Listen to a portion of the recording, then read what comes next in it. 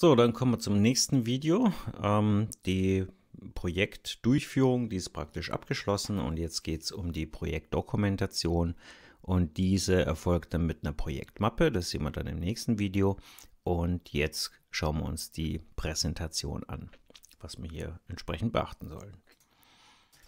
Also, zuerst einmal musst du dir überlegen, was du deiner Präsentation für eine Struktur gibst. Ja, du musst überlegen, was präsentierst du am Anfang, was in der Mitte und was am Ende.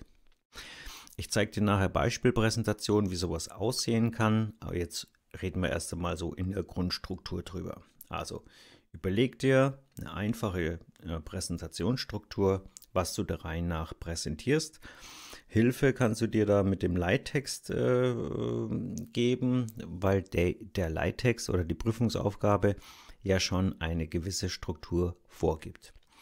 Überleg dir bei jeder Folie, die du präsentierst, dass da möglichst wenig Stichpunkte drauf sind, dass die Folien nicht überladen sind. Dann Überleg dir, welches Anschauungsmaterial du bereitlegst. Am idealsten wäre es natürlich die Originalprodukte, also Originalwerkstück, Originalflyer, Originalplakate. Ansonsten kannst du auf Fotos zurückgreifen, also auf eigene Fotos von deinen Produkten. Oder dann auch wirklich schauen, dass man Material hat, Originalskizzen, Originalplakate, die man dann entsprechend äh, abbilden kann mit deiner Präsentation. Wichtig ist immer erzählen statt vorlesen. Also bitte keine Stichpunkte vorlesen, keinen ausformulierten Text in die Präsentation reinschreiben, den du mir dann vorliest. Lesen kann ich selber und ähm, das kommt halt auch nicht so professionell rüber. Dann hast du vielleicht noch ein Kärtchen mit kleinem Text drauf, äh, wo du dir schwer tust abzulesen. Also das, äh, das bringt alles nichts mach dir drei, vier Stichpunkte und erzähl einfach darüber, was hast du am Anfang gemacht, was hast du in der Mitte von, der Präse von, der, äh, von dem Projekt gemacht, was hast du am Schluss gemacht. Ähm, vergiss auch nicht äh, deine Präsentation an sich. Also das heißt, du präsentierst und präsentierst und plötzlich vergisst du die Folien zu wechseln. Ja? Also Präsentation und Redner, also in dem Fall du, müssen da eine Einheit bilden. Wichtig ist auch, dass dieser ganze Auftritt eingeübt wirkt. Ja? Du präsentierst ja nicht alleine, hast du vielleicht einen Partner oder seid zu dritt.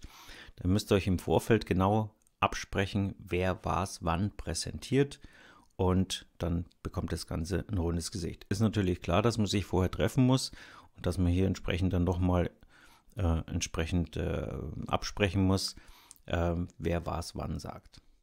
Und falls Begriffe und Fremdwörter auftauchen, die nicht alltäglich sind, die muss man natürlich erklären. Ja. Ähm, hier sind ja nicht nur äh, bei den Prüfern Fachlehrer drin, sondern vielleicht auch der WIP-Lehrer und äh, je nachdem, was für Themen präsentiert werden, äh, muss man vielleicht das ein oder andere Fremdwort oder Fachbegriff erklären. Dann schauen wir uns die Präsentationsdatei an. Was hier wichtig ist, also auf alle Fälle müssen eure Namen draufstehen, gleich auf der Startseite und das Thema muss dabei äh, stehen. Also das reicht nicht, dass da dann Projektprüfung draufsteht, sondern da muss auch genau stehen, um was es in dieser Prüfung geht oder Prüfungsaufgabe. Dann auf der spätestens zweiten Folie solltest, solltest du eine kurze Übersicht bringen, was du jetzt gleich demnächst präsentiert wirst. Das muss kein Inhaltsverzeichnis sein mit Seitenzahlen, sondern einfach stichpunktartig eine kurze Übersicht, was wir jetzt der Reihe nach sehen werden. Und, was auf alle Fälle drin sein soll, eine Quellenangabe mit der richtigen Linkbeschreibung. Ich zeige euch nachher zwei Präsentationsdateien, wo ihr euch ähm, anschauen könnt, wie das aussieht. Dann schauen wir uns die Gestaltung an. Also wichtig ist große Überschriften mit einem guten Kontrast. Bedeutet, der Hintergrund muss entsprechend sein, dass sich die Schrift gut abhebt. Am besten, also die kleinste Schriftart, die du in PowerPoint verwendest, ist Schriftgröße 24. Alles, was drunter ist, ist viel zu klein. Man kann es dann einfach nicht sehen. Äh, wenn man das Beamer-Bild dann betrachtet, da ist alles, was drunter ist an Schriften, ist einfach zu klein. Also Schriftgröße, Kontrast achten und dann ist natürlich wichtig, dass man eine passende lesbare Schriftart hat. Ja, also so eine Zielschrift wie eine Schreibschrift schaut vielleicht aus deiner Sicht gut aus, aber für eine Präsentation ist sie ungeeignet, weil sie einfach schwieriger lesbar ist auf einen Blick gesehen, als jetzt zum Beispiel wie hier mit Calibri oder Arial oder Times. Ja. Wenig Text, haben wir schon gesagt. Dann, wo sich anbietet, Grafiken oder auch Formen mal verwenden. Grafiken deshalb, weil eine Grafik oft äh, ähm, einen Sachverhalt deutlicher beschreibt, als jetzt, wenn da fünf Zeilen Text stehen. Und diese fünf Zeilen Text dann vielleicht auch noch vorgelesen, das ist ganz ungut. Stichwort Grafiken, also äh, komme zu den Bildern. Hier darauf achten, dass man wirklich passende Bilder hat. Wenn du eigene Fotos machst, dass die Fotos so sind, dass man auch was drauf erkennen kann. Dann, wenn das Foto in der Präsentation eingefügt ist, dass es auch die entsprechende Größe hat. Also es soll nicht zu groß sein, dass man äh, die Überschrift nicht mehr sieht. Es soll aber auch nicht irgendwo ganz klein in der Ecke drin sein, wo man dann auch wieder nicht sieht, was ist denn auf diesem Foto zu, zu sehen. In dem Zusammenhang auch, verwende bitte Bilder, die eine passende Auflösung haben. Ja, also wenn du jetzt ein Foto gefunden hast oder ein eigenes Foto gemacht hast mit einer kleinen Auflösung und ziehst es groß auf und dann wird es pixelig, dann ist dieses Foto leider auch ungeeignet, ja, weil mit äh, unscharfen, pixeligen Bildern können wir so auch nichts anfangen. Dann die Hintergründe, die, wie gesagt, haben wir vorhin schon gesagt, mit gutem Kontrast, die so auswählen, ähm, dass, es, dass man einen guten Kontrast hat. Also das heißt jetzt in dem Fall, wenn ich jetzt den Hintergrund bei dieser Folie grün gemacht hätte, dann würde man die Überschrift nicht sehen.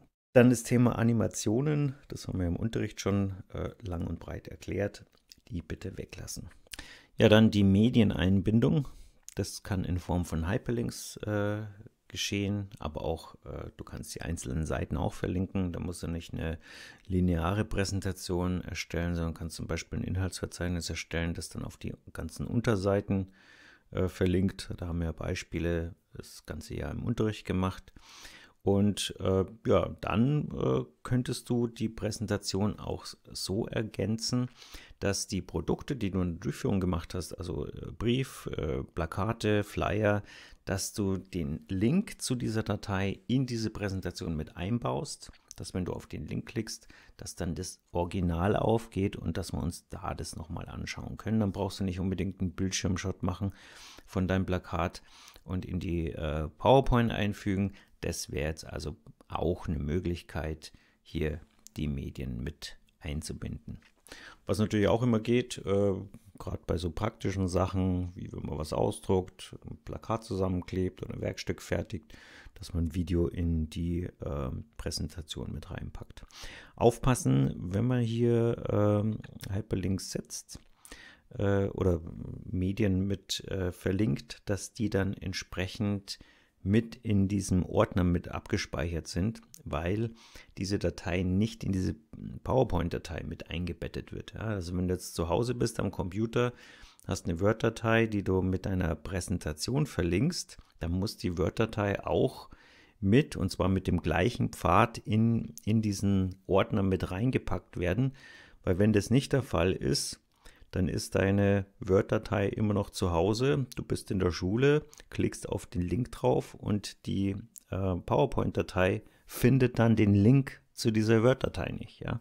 Also alles, was hier an Dateien zusätzlich verlinkt ist, muss mitgenommen werden. Ja, dann äh, wäre es immer gut, wenn du beim Präsentieren kleine Stichwortkarten hast. Wichtig dabei ist, dass die durchnummeriert sind, dass wenn sie dir vielleicht vorher fünf Minuten vorher runterfallen, dass du dann äh, nicht überlegen musst, in welcher Reihenfolge waren die, sondern nummeriere sie durch. Mach auch einen Hinweis drauf, ähm, welcher Zettel für welche Folie zuständig ist. Also hier zum Beispiel bei dem Beispiel 1 steht Startfolie dabei und drunter in Spiegelstrichen, die dann auch entsprechend groß sein äh, sollen, dass du da nicht erstmal die Augen zusammenkneifen musst, was da überhaupt steht. Äh, da steht dann genau drauf, äh, um was es bei dieser Startfolie geht, dass du hier begrüßt, dass du deinen Namen nennst, das Thema und dass du dann zur nächsten Folie zum Beispiel überleitest, wo du einen Überblick über die kommende Präsentation gibst. Ja, dann der Ablauf. Also du stehst mit deinem Präsentationstermin vor der Türe. Dann ist wichtig, dass du einfach mal alles dabei hast, also deine Präsentationsdatei auf dem USB-Stick oder du hast deinen Zugang zu deiner zu deinem zu deiner Cloud, dass du dann äh, die Präsentation da hast. Dann, wenn alles äh, vorbereitet ist, also die Präsentation erscheint dann auf dem Beamer. Jeder nimmt seinen Platz ein. Bitte stell dich nicht vors Beamerbild hin, sondern seitlich, dass du dann die Zuhörer und die Präsentationswand im Blick hast. Und dann geht's los mit der Begrüßung. Du gibst den Überblick. Ähm, ihr habt euch abgesprochen, wer seinen Teil von dieser Präsentation äh, übernimmt. Und ganz zum Schluss gibt es eine Reflexion. Du fragst auch nur noch kurz, ob es noch Fragen gibt zur Präsentation. Also die wird es ja dann immer geben. Und zum Schluss bedankt euch für die Aufmerksamkeit. Also so sollte dieser Ablauf dann stattfinden. Ja, kurz ein Ausblick, äh, wie sieht eine gute Präsentation aus? Einfach mal anfangen und Aufmerksamkeit gewinnen. Das kann mit dem Foto sein, das kann mit einer kurzen, einleitenden kleinen Geschichte sein. Äh, je nachdem, was ihr euch da einfallen lasst, dann einfach auch immer mal wieder zum Publikum oder zu den Prüfern blicken und nicht nur einfach stur aufs Blatt oder Boden oder zur Wand. Dann langsam sprechen, nicht einfach ganz schnell durchgehen, äh, die Medien mit einbinden, also nicht vergessen, dass man noch eine Präsentationsdatei an der Wand gestrahlt hat und was wichtig ist, halt entsprechend betonen und unterstreichen. Ja, im Gegensatz dazu, wie sieht eine schlechte Präsentation aus? Ich habe hier mal ein bisschen gesammelt, was mir so aufgefallen ist die letzten Jahre. Also äh, mangelnde Vorbereitung. Also man kommt rein, man weiß nicht, wo der eigene USB-Stick ist, man weiß nicht, wo, wo man die jetzt anstöpselt, wenn man dann seinen USB-Stick hat. Man hat die Unterlagen durcheinander, die äh, Kärtchen, die Präsentationskärtchen sind noch irgendwo in der Projektmappe drin verstreut oder hat sie vergessen und äh, ja, man hat einfach viel zu viele Blätter dabei und kennt sich da nicht aus. Dann du selber musst überlegen, wie du deine Stimme einsetzt. Ja, manche, die sprechen da ganz monoton dahin und äh, ja, also da ein bisschen in der Stimme variieren dann auch nicht laut rumschreien oder nuscheln, dass man dich kaum versteht, äh, sondern halt einfach klar und deutlich sprechen und so ein bisschen die Stimme modulieren. Was auch nicht geht, ist äh, ständig so äh, in den Unterlagen rumblättern, durchblättern, sonst was blättern. Wie gesagt, verwende so Moderationskärtchen, die durchnummeriert sind und ähm, dann tust du auch einfacher im Vortrag. Äh, dann stell sicher, dass du dich mit der Technik auskennst. Ja, also äh, wenn man nicht weiß, wie man eine PowerPoint startet mit F5, äh, ja, dann funktioniert natürlich der ganze Vortrag nicht. Ja. Dann, was auch oft falsch gemacht wird, man steht vor der Leinwand und man sieht nichts. Ja. Äh, früher hat man den Beamer nicht an der Decke, sondern auf so einem Podest. Da hat man dann schon gleich gar nichts gesehen. Also auch im Vorfeld überlegen, wo man steht. Ähm, dann sicherlich ist man aufgeregt, man hat Moderationskärtchen und, und schaut, ob man wirklich alles äh, erwähnt hat, was man aufgeschrieben hat. Aber hin und wieder einfach zu den Zuhörer blicken, das entspannt das Ganze dann auch. Und wichtig ist einfach nichts vorlesen. Also natürlich gibt es Ausnahmen in Form von, von, Zitaten zum Beispiel, aber äh, es kommt nicht professionell rüber, wenn du irgendwas vorliest. Ja, dann äh, das Präsentationsmedium selber. Ich habe ja vorher darüber geredet, wie es aussehen soll. Ähm, ja, wenn sie, wenn sie schlecht aussieht, dann hat man einen kleinen unleserlichen Text mit einer Zielschrift. Man hat zu viel Text drin. Man hat vielleicht die falschen Bilder drin oder die richtigen, aber dann vielleicht pixelig und so klein. Und dann macht halt äh, das Zuhören und das äh, Zuschauen einer solchen Präsentation auch keinen Spaß. So, jetzt schauen wir uns mal zwei Präsentationsbeispiele an. Die müssen nicht so aussehen, aber so könnte man die entsprechend gestalten. So, dann schauen wir uns mal die einzelnen Präsentationen an. Also wie gesagt, äh, es ist ein äh, Beispiel. Du musst es nicht so gestalten, aber das ist jetzt ein Vorschlag, wie man so eine Präsentation erstellen kann. Also wie gesagt, ähm, das Thema soll ersichtlich sein, dein Name soll hier entsprechend aufgelistet sein. Wenn es entsprechend Gruppenmitglieder gibt, die sollen hier auch aufgelistet werden und den Prüfungszeitraum. Danach gibst du einen kurzen Inhaltsüberblick, was wir jetzt Reihe nach sehen werden. Und dann, wie gesagt, Arbeitsplanung kann jetzt hier in Form von einer Mindmap ähm, äh, entstehen, wobei es hier nicht darum geht, um jeden einzelnen Punkt, sondern hier geht es darum, dass du zeigst, wie ihr geplant habt, ja, was, was alles hier an Ideen und Gedanken mit eingeflossen sind und dass ihr das alles äh, zu Papier äh, gebracht habt. Äh, bitte hier nicht jeden einzelnen Arm vorlesen, was ihr da rein nach gemacht habt. Auch hier, also das ist die Arbeitsplanung. Hier haben wir dann den Arbeitsplan hier bitte nicht vorlesen. Vor dem Projekt haben wir uns in Gruppen eingeteilt, Partnerfindung. Ja, sondern einfach sagen, das ist unser Arbeitsplan. So haben wir unser Projekt aufgezogen. Ja, dann äh, kommt schon inhaltlich hier, dass man das Abendprogramm von diesem Abschlussball hier gestaltet hat. Dann haben wir hier äh, den Brieftext von dem Einladungsschreiben. Hier auch wieder den Tipp, nicht den Brief zeigen, äh, sondern inhaltlich, was man äh, entsprechend formuliert hat. Wenn ich den Brief sehen will, ähm, dann sage ich dir das schon und äh, dann kann man vielleicht den Link hier noch mal, äh, den Brief nochmal hier verlinken, dass man aufrufen kann und dann kann man hier nochmal drüber reden. Hier als Beispiel das Werbeplakat von diesem Abschlussball. Hier haben wir den Werbeflyer so als Beispiel dargestellt. Natürlich kannst du den auch abfotografieren, hier ein Foto reinlegen. Also da hast du verschiedene Möglichkeiten. Auf den nächsten Folien, da haben wir dann den VIP-Inhalt und hier ist wichtig bei der Reflexion, dass jeder reflektiert.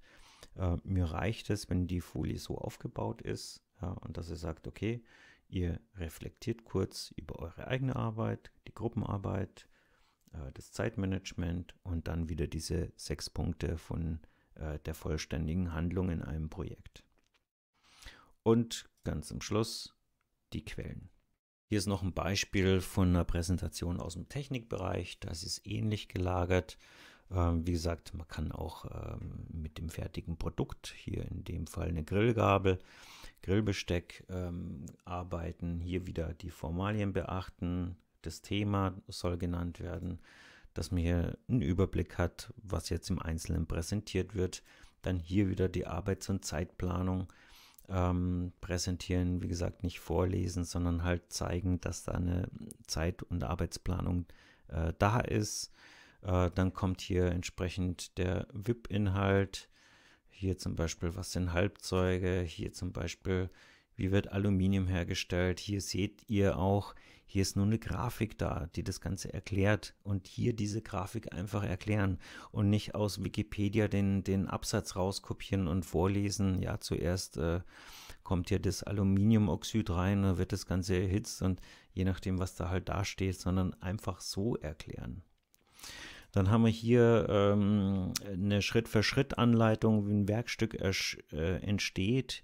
Hier beispielsweise auch, hier sieht man, das sind das ist einfach eine Tabelle mit 15 Arbeitsschritte Und wenn man die jetzt auf einer Folie darstellen hätte wollen, dann wäre die Schrift auch sehr klein gewesen. Also hier dann einfach die Tabelle teilen, dann kann man die Schrift wieder in einer entsprechenden Größe formatieren und dann kann man sogar diese Tabelle mit diesen 15 Arbeitsschritten auf zwei Folien wunderbar präsentieren. Dann kommen wir zu dem Beispiel mit den äh, Fotos. Also hier zum Beispiel die Skizze. Äh, reicht völlig aus, wenn man da ein Foto hat. Hier vielleicht die technische Zeichnung mit der Stückliste daneben oder hier dann die Werkzeichnung, wo dann die genauen Maße hier schon mit eingefügt sind und dann im nächsten Schritt halt diese einzelnen Stadien, wie ist dieses Grillbesteck entstanden. Äh, geht auch wunderbar, wenn du erklärst, wie dein Flyer oder das Poster entstanden ist. Und dann zum Schluss vielleicht nochmal ähm, das fertige Produkt mit der Gegenüberstellung von der Planungskizze. Ähm, man könnte die ganzen Fotos als Collage auch hier auf eine Folie packen, aber ich würde es nicht empfehlen. Es ist dann doch recht unübersichtlich und du siehst ja wunderbar, wie man das schön auf mehrere Folien verteilen kann und dann ist es schön klar, ähm, wie das äh, jener, dein Produkt äh, schrittweise entstanden ist. Und hier auch wieder die Reflexion, ganz kurz gehalten, keinen ausformulierten Text, der vorgelesen wird, sondern einfach hier eine Übersicht, über was jetzt gerade reflektiert wird.